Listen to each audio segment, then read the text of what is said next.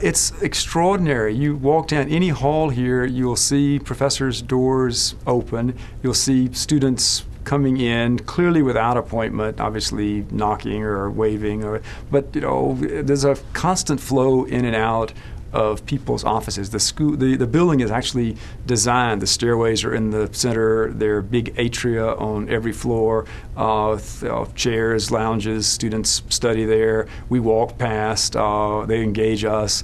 Uh, or head back to office, we'll speak to them. It's an extraordinarily well designed uh, building that promotes the kind of culture we have, which is, you know, very Socratic. We just go about what we're doing and talk about law and its practice as we are engaged literally on a daily in the halls basis.